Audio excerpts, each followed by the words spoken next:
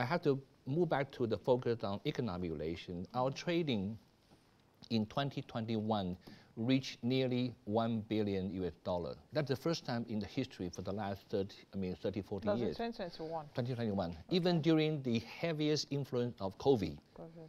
our trading, mutual trading, jumped up 200%. And it, Nigeria enjoys such a huge trade surplus.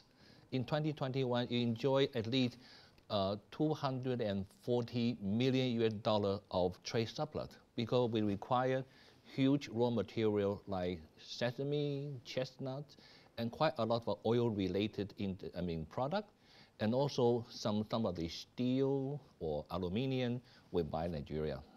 And Nigeria had been importing our product mainly on automobile and car parts or motorcycle. And we have a big tire brand name called Maxxis, M-A-X-X-I-S, which has set up the market share here quite successfully. So we're trying to get into the Nigerian market with some newly uh, renovated kind of product into here.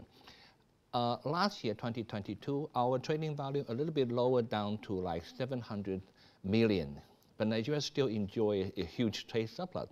So that means we need to work harder Yeah, to sell more of our product here. To, to.